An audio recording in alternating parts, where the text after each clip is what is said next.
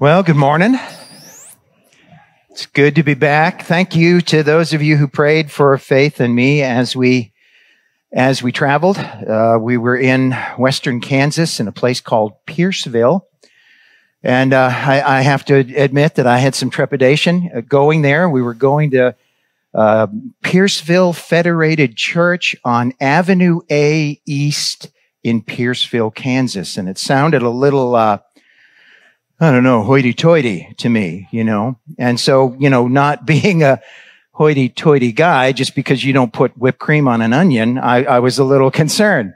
So you can imagine my joy when we turned onto Avenue A East and discovered that it was a gravel road. it was just, oh man, it was refreshing. And it was refreshing being with those folks. They have such a passion for for missions and for seeing the, the, the last of the unreached reached. I was a little surprised to discover how much they knew about the unreached and how different they are from the unchurched. We're surrounded by the unchurched who have opportunities, who have access to the gospel here in the United States. Uh, but there are people on planet Earth who, who simply have no access, that that will not hear unless someone who has access, someone who is a follower of Jesus, goes there to that place, learns their language, understands the way they look at the world, becomes their friend, becomes incarnate there in that place, and and shares Jesus. So uh, it was a it was a really really good time for us, and uh, and thank you so much for the opportunity to go and uh, you know, the privilege of of representing missions there in that place.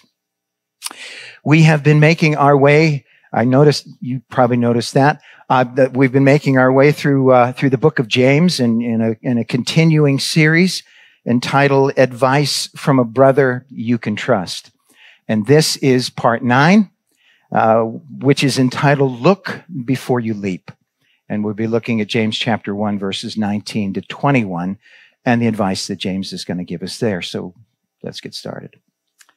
Last week, or two weeks ago, I guess it was, we unpacked James chapter 1, verses 16 to 18. And we looked at that passage through the lens of the story of the fall, the story of how sin first came to the human race. We went there uh, because there in the garden, Satan was fishing for a way to hook Adam and Eve and pull them out of their, that place of rest that they enjoyed with God there in the garden. They were walking with him in the cool of the day and fellowshipping with him and talking with him and learning from him. And Satan, quite frankly, hated that. We also went there to that story because James was talking about fishing in the passage that we looked at two weeks ago. He helped us to see that fish usually choose a, a place of safety and, and hunker down. And, and if you're a fisherman, you know this. I'm not an expert on that sort of thing, but uh, the, the fish is, is hunkered down and staying safe, and the fisherman drops a lure in front of the fish, but the fish just isn't biting that type of lure for one reason or another. So the fisherman, fisher person, am I offending anybody by saying fisherman instead of fisher person? You know the really weird part? That occurred to me as I was talking about fishermen. And so just for fun, I typed fisher person into Microsoft Word and it accepted that spelling. So I know I'm on the right track worrying about this, but if I end up saying fisherman instead of fisher person, it's only because I, I want to. Uh, the, the fisherman responds by dropping another type of lure and another and another until he or she finds the, the one that'll catch the eye of the fish and get it to bite. That's what they're after. And that's an idea that we've been thinking through for several weeks now. But James is going to, James added a dimension to the discussion two weeks ago when he brought up the idea of deception. Satan deceived Adam and Eve by suggesting to them that it would be a good thing if they ate the fruit that God had told them not to eat. That's really the way he, he posited it for them. It'd be a good thing to eat that fruit that God has told you not to eat. It's not going to be bad for you at all. Satan implied that God was just being selfish when he told them not to eat the fruit. He didn't want to share that fruit with them. And, and Satan also implied that God didn't want them to be like him. God didn't want them to actually bear his image. And that's why he forbid the fruit. And uh, I, I just, I hope that we all understand by now that that was a bold faced lie on Satan's part. He was lying when he said that. I say that because God's stated purpose for Adam and Eve and for all of humankind is that we would be like him and that we would bear his image. In fact, God says exactly that in council with the Trinity right, Trinity right before he created Adam and Eve. He says, let's make humans to be like us. Let them bear our image. And that, in fact, is why God was walking with them in the cool of the day every day. He was teaching them. He was teaching them how to be like him and how to bear his image. He was teaching them about himself so that they could mimic him. They could learn to be like him. And among other things, God was teaching Adam and Eve, we know because he was teaching them to be like him. He was teaching them to be as discerning as he is when it comes to knowing good and evil. God wanted Adam and Eve and, and all of humankind to be able to know when something was good or evil. He knew that we would need that information ultimately, but he wanted uh, them to be able to, to learn that by the process of fellowshipping with him moment by moment and day by day. That was his dream. That was why he had created them. And that's why there in the garden, the ability to discern good from evil is the very thing that Satan goes after. It's the very thing that he focuses on.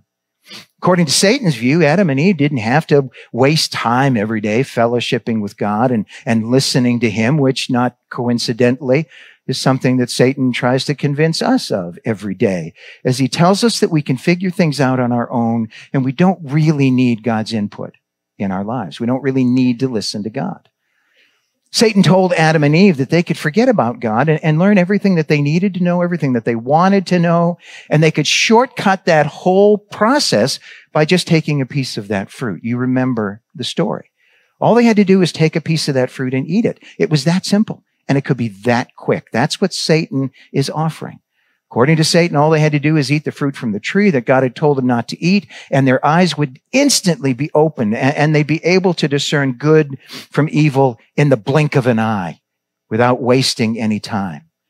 And the really sad part is, is that Satan, that, that part that, that Satan said there, that they would be like God, they'd be able to discern, their eyes would be open, that part was at least in part true because as soon as they ate that fruit, their eyes were opened. And the first bit of insight that they gained, well, the scripture says that their eyes were opened and they suddenly knew that they were naked. And that hadn't been a problem the day before, the day before that, but now suddenly it was. And in my mind, that had to be the single greatest disappointment in all of history because they ate that fruit expecting this rush of wisdom, this incredible rush of wisdom. And all they got for their disobedience was the shame and fear that came from realizing that they were uncovered. And Eve sums it up so perfectly when in response to God's question about what she had done, she said, the serpent deceived me and I ate it. And that puts us, that brings us right back to fishing because the fisherman drops one lure after another, right? But let's be clear here. The fisherman is not trying to feed the fish. that's not, that's not what's going on there. He's not trying to feed the fish. Instead, he or she is trying to catch the fish. He's trying to figure out what it is that the fish will bite. He wants them to bite the lure, not eat the lure. And the way that he or she, the way that the fisherman goes about that, gets that done is by making the fish think that the lure is something good to eat, something that will nourish the fish. In other words, and I, I hope you won't go home and cry yourself to sleep tonight if, you, if you're a fisherman, but the fisherman is deceiving the fish. That's what the fisherman is doing. Hey, hey, look, this is something you're going to want. No, it ain't. Not in the end, it isn't. The fisherman is deceiving the fish. The fish is just trying to get through the day, eating as much as it needs to be healthy and to survive, while all the while the fisherman is busy trying to get the fish to bite the last thing it will ever eat, like Satan did to Adam and Eve there in the garden. And he does the same thing to us every single day. He tells us that the thing that he's offering will ultimately be good for us. It'll be fun or it, it, it'll be exciting or it'll provide us with a much needed break from all the stress of the last few months. And despite the fact that we sense that Satan is lying to us, despite the fact that we sense that this thing that he's offering won't be good for us at all, we take the bait. We grab it and run with it. And that's why James is so careful to tell us that when temptation comes, we should hold on just a minute and take a deep breath and then cut the deception out of the temptation. In other words, we should look before we leap. Before you run after something, take a minute to consider. Take a minute to think about it.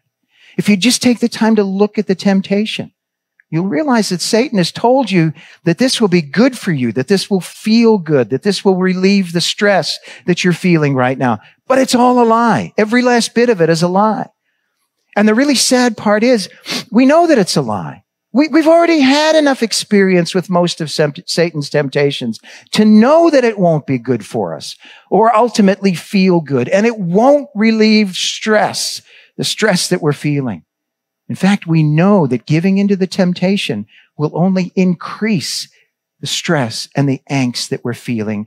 Because if we give into the temptation, we'll know that we failed in our pursuit of being like Jesus. We know that if we give into the temptation, we will have failed in our pursuit of being the person that God created us to be. We know all that because we've fallen for Satan's deception in the past.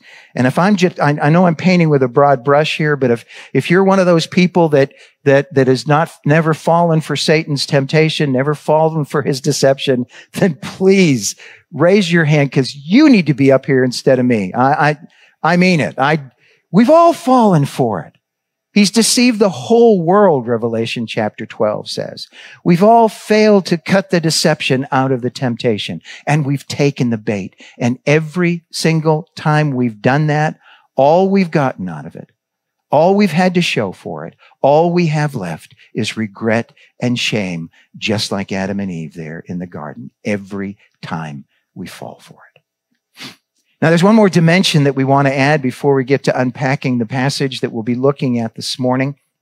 And to add to that, we, we need to go back to our, our fishing illustration one more time. We'll be there several times this morning, but we've been saying that the person who's trying to catch the fish is really deceiving the fish. And he or she does that by dropping one lure after another. The fish takes a pass on the first three lures for whatever reason. And then when the lure it's waiting for finds its way uh, in, in, into the front of, in, in front of the fish there, the fish strikes. The fish hits the bait with such suddenness and such tenacity that you can feel the strike as you're holding the pole. And that's why you set the hook. You react to that by setting the hook so that you can reel the fish in. The fish strikes the bait without giving the situation much thought.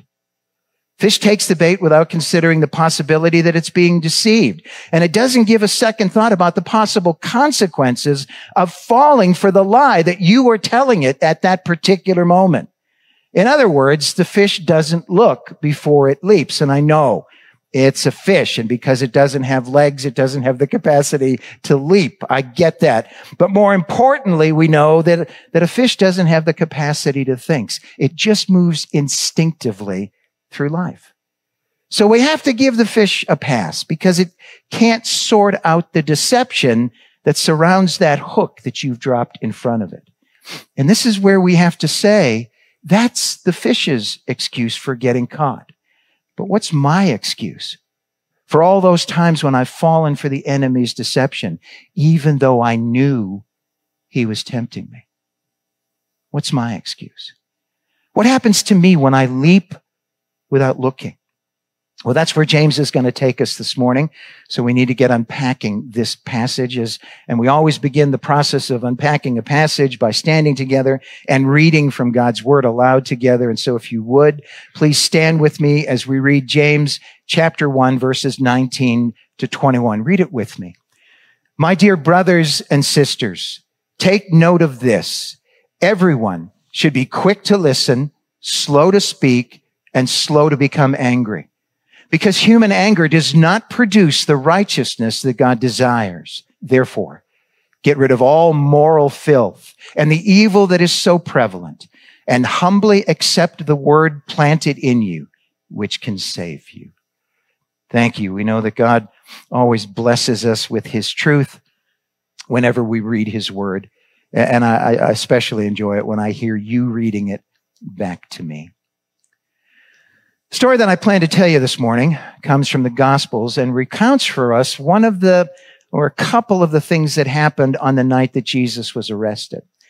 It's not a part of the story that I included in the Easter story as I told you, as I told you that on Easter morning, but, but some of the story happened in the upper room. And so there's a bit of a disconnect, but some of it happens in the upper room and some of it happened in the courtyard of the house of Caiaphas, who was the high priest in Israel at that time.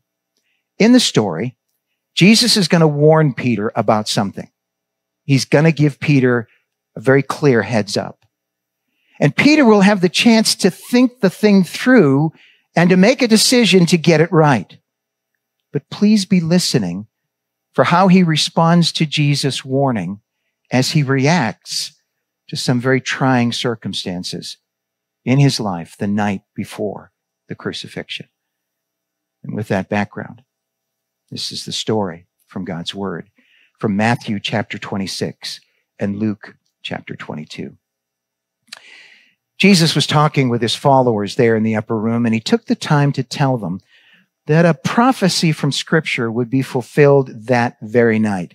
They were eating the, the Passover Seder meal together, and he said that the, the prophecy would be, the, the prophecy that would be fulfilled was the one that foretold that God himself would strike the shepherd and the sheep would all be scattered. Jesus and his followers were about to face some very difficult times. God was going to strike Jesus and the sheep, the followers, his disciples would be scattered. Peter responded to that in true form. We know, we would expect that Peter would do exactly what he did that night. He responded to that by telling Jesus to, in, in no uncertain terms, that the, that the others in the room, these other these other chuckleheads might might reject you they might turn away from you they they might disown you but i never will and peter went on to say there in that context that he'd gladly go to prison for jesus and even be willing to die for jesus if that's what was re- what was needed in response to that jesus said simon simon satan has requested that he might sift you like wheat but i have prayed for you and when you return, strengthen your brothers. And that's when Peter said, Lord, I'm ready to go to death with you. I'm ready to go to prison with you. And in response to that, Jesus warned Peter. I tell you, Peter, tonight, three times you will say that you don't know me. And you will do all of that before the rooster crows early tomorrow morning. Not long after that conversation, Jesus led his followers out of the upper room, uh, out, out the eastern gate, down the Kidron, through the Kidron Valley and up onto the Mount of Olives, the side of the Mount of Olives where the Garden of Gethsemane was, because he desperately wanted to spend some time with his Father as he looked for the strength to take on the challenge that was before him, uh, the, uh, to face the cross. After he had prayed, just to cut the story a little shorter, the, the, the men arrested Jesus and they led him away. They led him to the house of Caiaphas, the, who was the high priest that year. And Peter, in the meantime, true to his word, at least at this point, followed Jesus, but, but he kept his distance. Some other people that were there that night started a fire there in the middle of the courtyard and they sat down together to see what would happen. This was a pretty eventful evening as as Jesus, this rabbi, this Messiah, according to some, was on trial. And uh, Peter sat down with that group around the fire. A female servant saw him there in the fireland. She looked closely at him and then she said, This man was with Jesus. He was, he, he was with Jesus. And Peter replied instantly, Woman, I don't know what you're talking about because I'm telling you, I don't know that guy at all. That's what he said to her and to the group. Having said that, Peter got up and wandered away from the fire and went to stand nearer to the gate, the, the, the, gate that, that opened out into the city from the courtyard. He went there to stand by the gate and, uh, and, and, and while he was standing near the gate, another servant girl saw Peter and recognized him. She said to the people who were standing there, this guy, this guy right here, he's one of the guys who was with Jesus of Nazareth. He's, he's one of his followers. And then she turned to Peter and she said, you're one of them. No. Peter replied, I'm not. And then he swore an oath that he didn't even know Jesus. And about an hour later, another person spoke up uh, and confronted Peter in front of the entire crowd, in front of the whole courtyard. This guy must have been with Jesus, the guy said, maybe from one of the other groups. He added then that, that you can tell from his accent that he's from Galilee, just like all of the other followers that, that Jesus has brought here. Peter replied, man, I do not know what you're talking about. He denied knowing Jesus again, and he punctuated his, his denial again by calling down curses on himself and then going into a rant, and he got loud. And that was when, just as he was shouting this third time that he didn't know Jesus, the rooster crowed. And at that very moment, Jesus was being moved from one place to another in, in, in the house of Caiaphas, and Peter saw him. And that was the moment that Jesus turned and looked right at Peter. Can you imagine? And Peter remembered what the Lord had said to him just moments before, it seemed. The rooster will crow very early in the morning, Jesus had said. Before it crows, you will deny three times that you know me. Peter, realizing that and catching that look from his friend, his Savior, he ran from the courtyard and wept bitterly. And that's the story from God's Word. I want you to remember that before I told the story, I asked you to note how Peter reacted and responded to the events of that evening. Jesus had taken the time to warn Peter that there'd be three tests of his loyalty to Jesus that very night.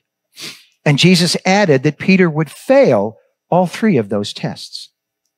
So Peter had the opportunity to walk into that situation that night with his eyes wide open and his heart fully aware of the consequences of falling prey to what Jesus called Satan's request to sift him like wheat.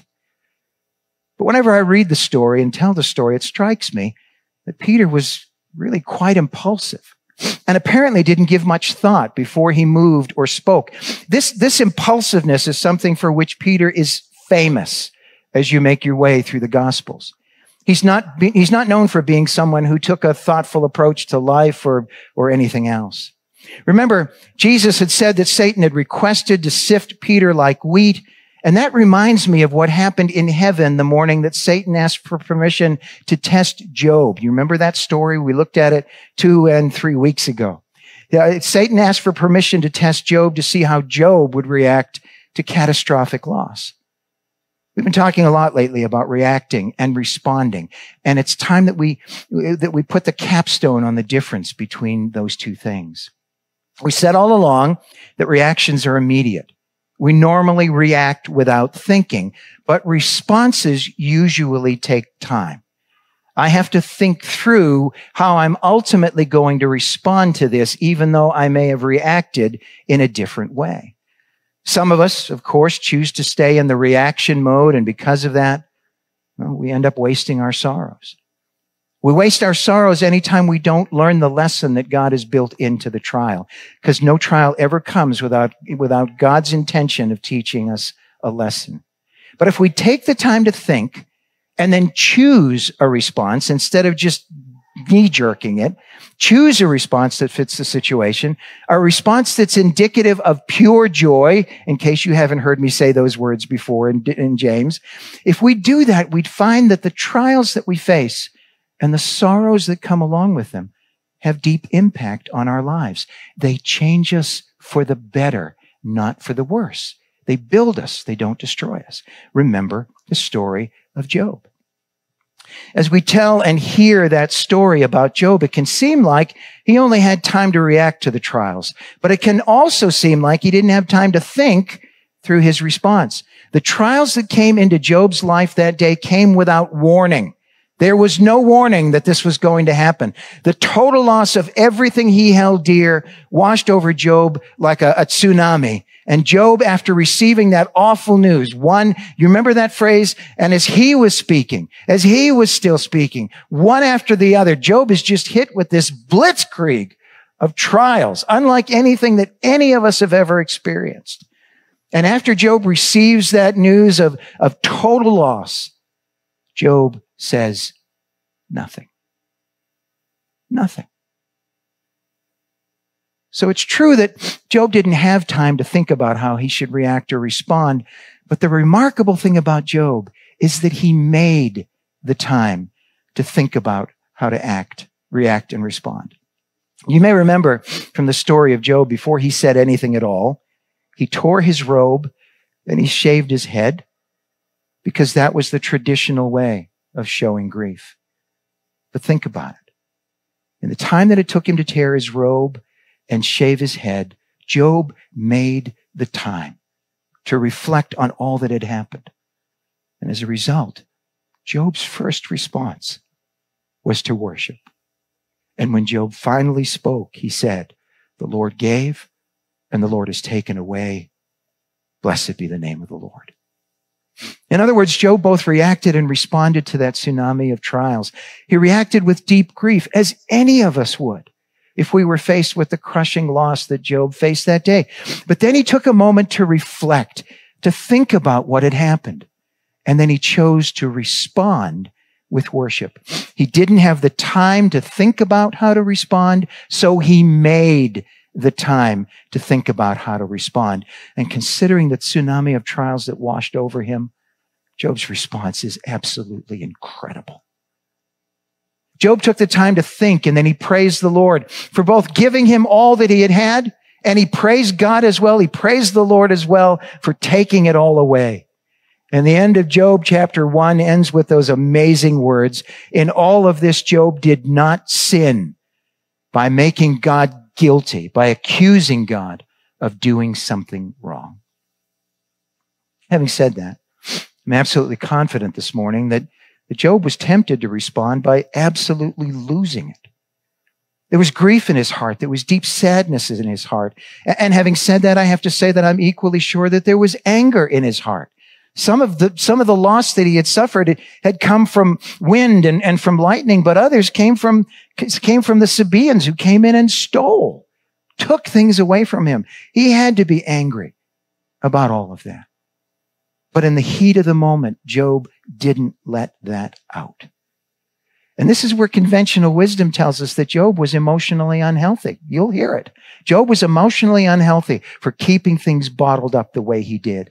But he didn't keep things bottled up. He kept his deep emotion in his heart and he considered how best to respond in a godly way to the situation, considering how he felt about it.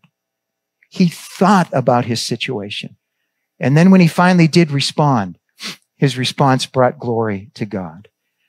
And the fact that Job took the time to think through his response, while Peter merely reacted in the moment without taking the time to think, helps us to understand why things went so right for Job and so wrong for Peter.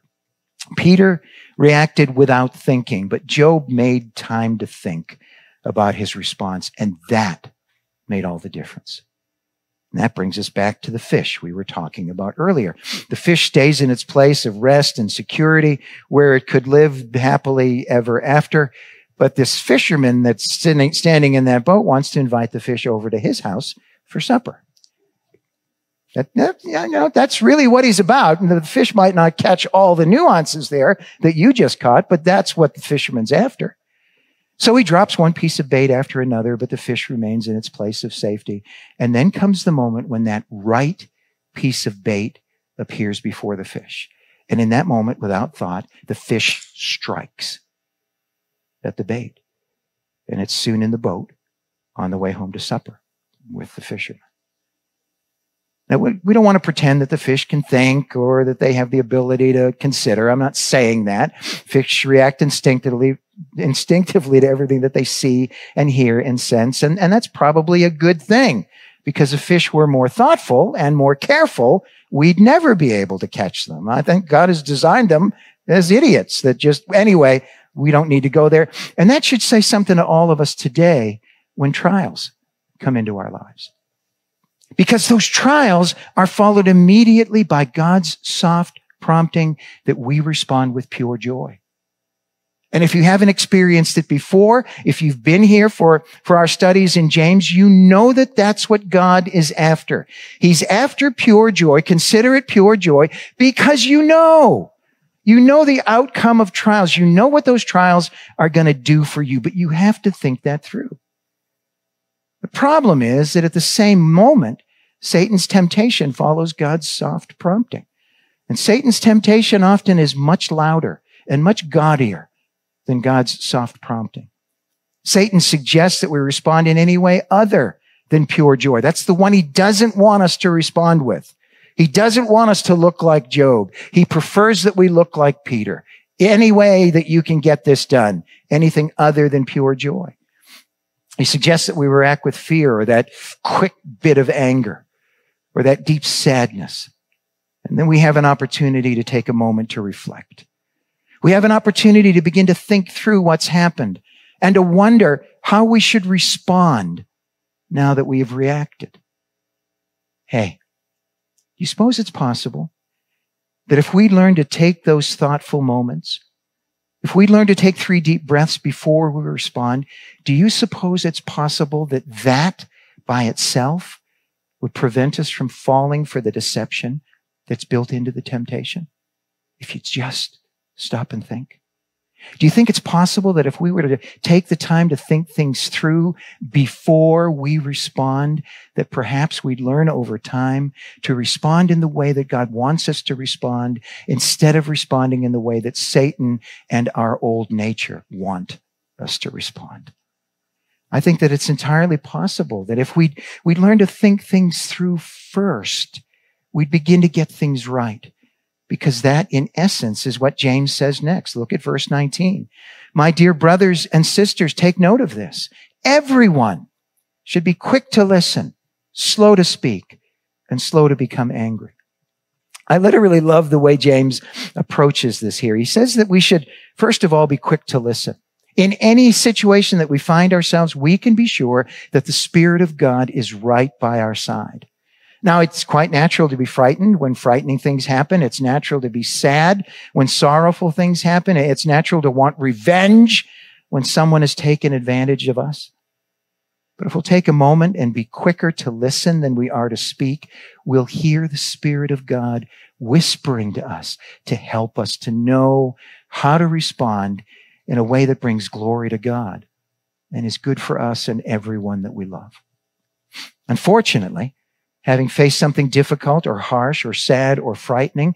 Most of us are presently in the habit of pulling our phone uh, out of our pocket or, or our purse and, and jumping onto social media to complain about the events of the day. That's, that's where we go. We react and we respond all in the same instant without even thinking. We want to know that other people are aware of how difficult things are for us right now. We want their sympathy. We want their understanding, but we forget that the Spirit of God was there as the situation began to develop, and He's still there now. He's seen everything that's happened, and He has some advice for you and me in every situation that we face.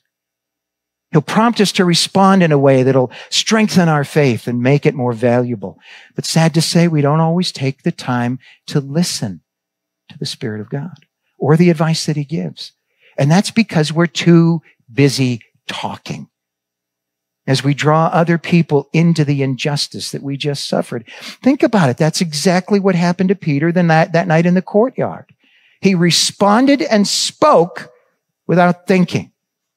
So we can just keep going through life without ever pausing to think things through, or we can make the time to consider the consequences of our response. And think about this. What if we were to start listening to the Spirit of God before we decide to speak? What if we were to talk to ourselves about that anger that we feel and choose a response that, that reflects pure joy rather than a response that reflects anger? Uh, to paraphrase Casting Crowns, uh, what if the family turned to Jesus and stopped asking Facebook what to do? what if? If we could learn to insert that pause to think at that moment, then we'd be able to respond in a way that brings glory to God and is good for us and everyone that we love because we will have learned the lesson that James is asking us to learn this morning. We'd be able to prove that we've learned the lesson that everyone should be quick to listen, slow to speak, and slow to become angry. So when trials push us out of our place of rest and into open water, we have to learn to stop thoughtlessly striking at the bait that Satan has dropped in front of us. We have to learn to think before we respond. And with apologies for mixing metaphors, we have to make sure that our brain is engaged before we put our mouth in gear. We have to learn to look before we leap. So let's just say that we're, we're all learning to respond in ways that bring glory to God. Let, let's just imagine that for a moment. And, and, and it seems to me that if we were to learn to respond in a way that brings glory to God, that God benefits from that. But we're the ones who end up paying the price for that.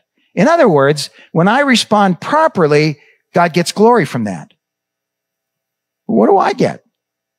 What do I get out of that?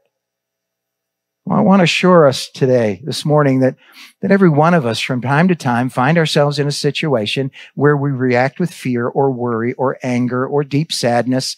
But we have to learn to think of fear, worry, anger, and deep sadness and emotions like that as rocking chair emotions.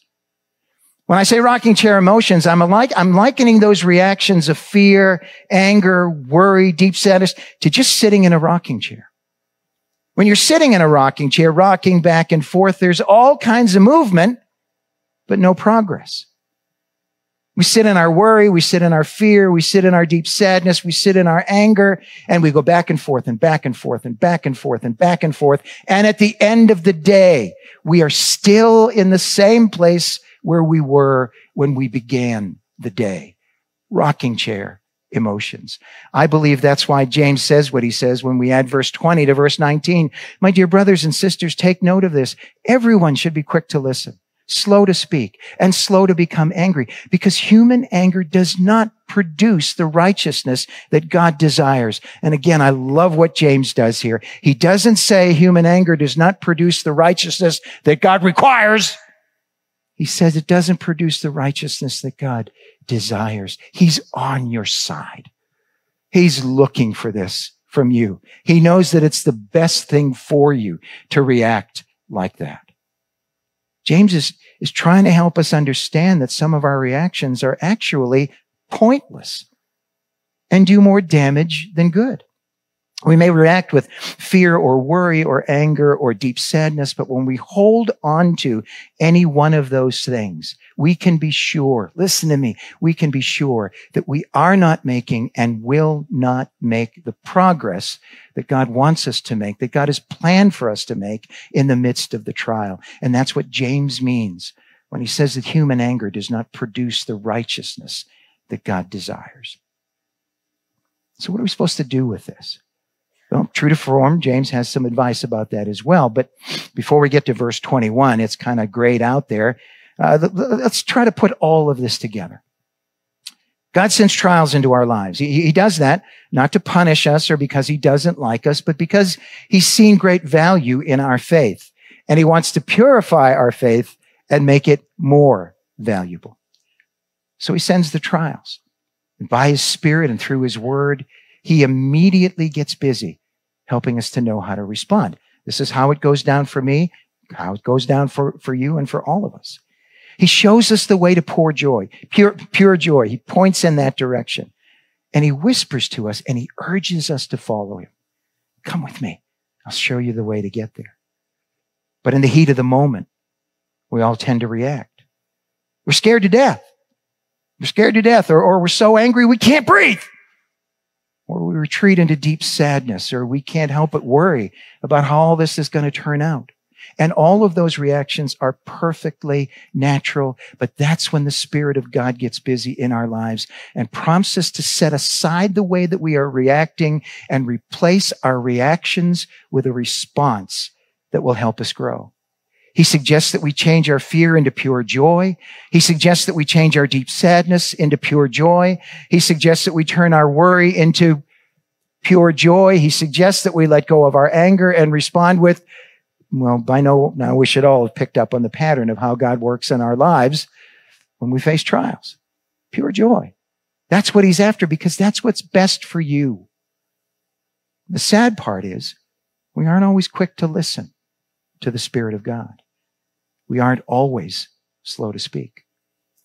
We don't always take the time we should to, to think about how to respond. And in the meantime, Satan is busy as well. And I can tell you from experience and from God's word, but experience primarily, that he doesn't waste any time.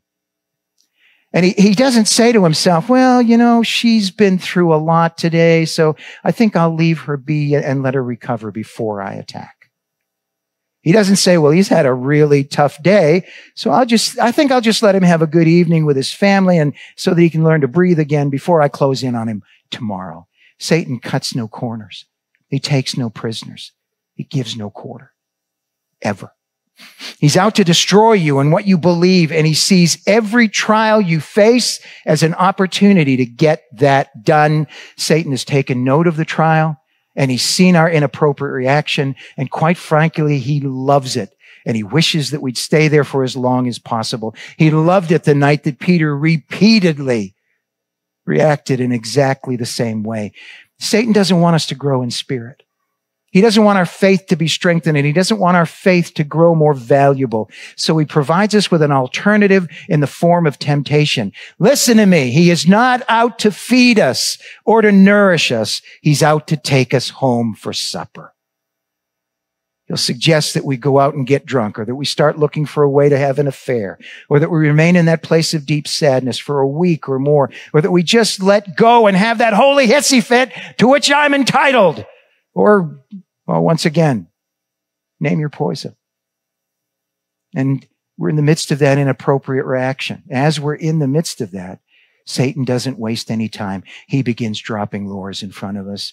And just like the fish that we've been talking about, we strike the bait without considering whether or not we might possibly be being deceived and without giving any thought to the consequences if we bite this thing, if we fall for the lie that we're telling ourselves at that moment, that we are telling ourselves at that moment.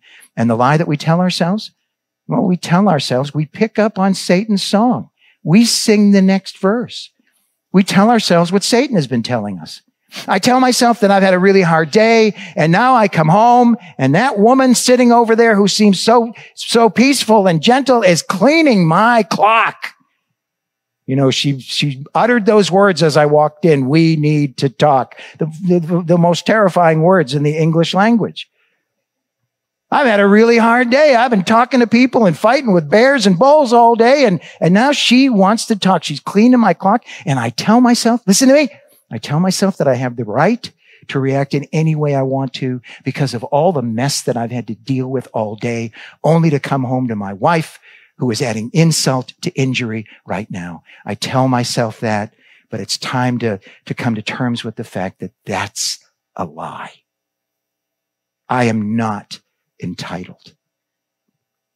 I may have reacted during the day with anger or fear or worry, or I may have been in a place where I could couldn't uh, where I couldn't react like that because other people were watching me. You know what that's like. You're able to control yourself when you're talking to your boss, but somehow not when you're talking to your kids.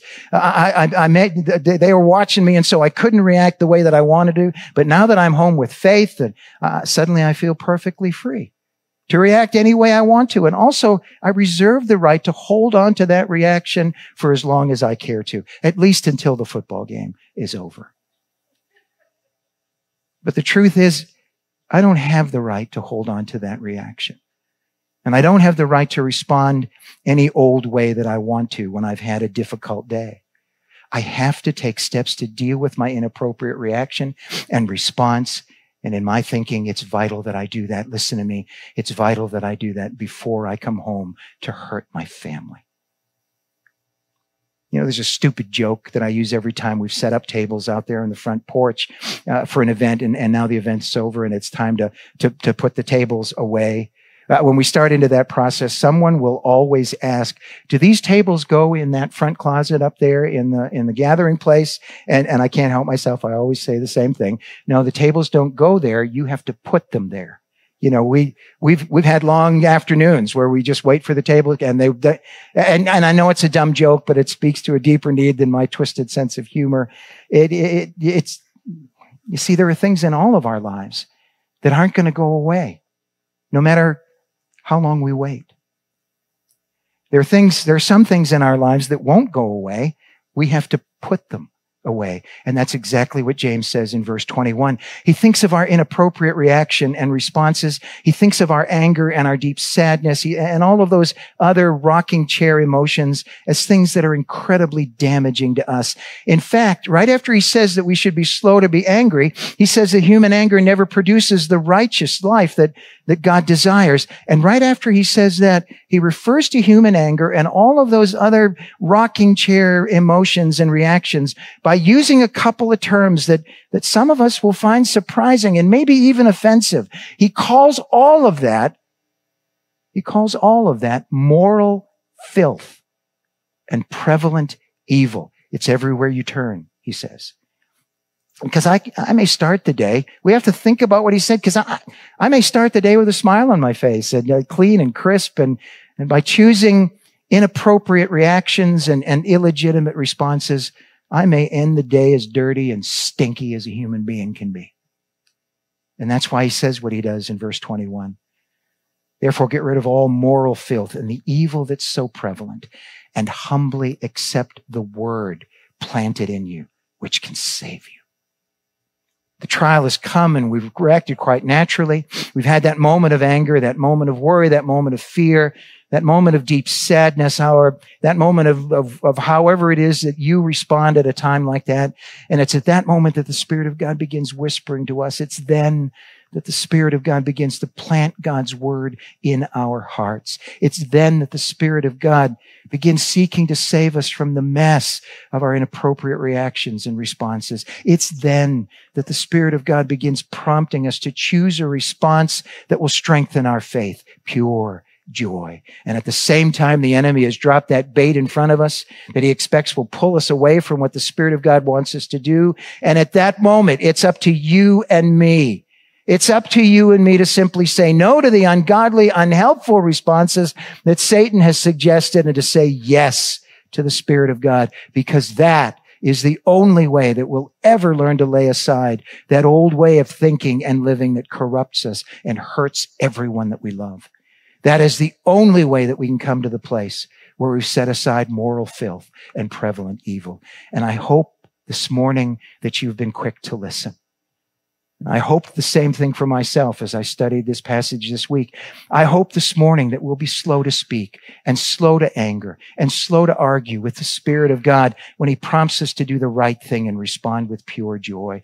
I hope that rather than getting angry, rather than worrying, rather than being afraid or deeply sad, we'll instead choose pure joy as our response when trials come.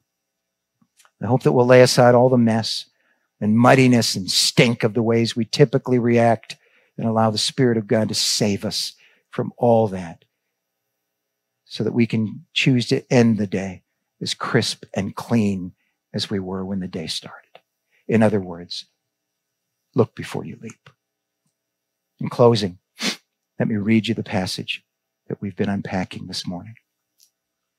My dear brothers and sisters, take note of this. Everyone should be quick to listen, slow to speak, and slow to become angry because human anger does not produce the righteousness that God desires.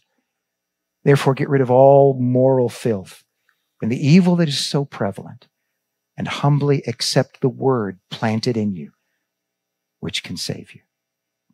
Will you stand with me in the presence? Father, once again, it feels like it's taken a long time to say some things that are, are really quite simple. God, I, all we can do on a Sunday morning is, is tell your truth. That's, that's all. Now, all I can do during the week as I'm, as I'm learning is discover your truth. You tell us the truth, God, and then it's up to us to apply that truth to our lives. God, that's the next place that we're going in the book of James. And so I, I pray that you'd get our hearts ready for that. But, but in the meantime, Father, help us to react a, and respond in a way that, well, that brings glory to you. And just as importantly, help us to react and respond in a way that's good for us and for everyone that we love. We ask you these things in the name of Jesus. Amen and amen.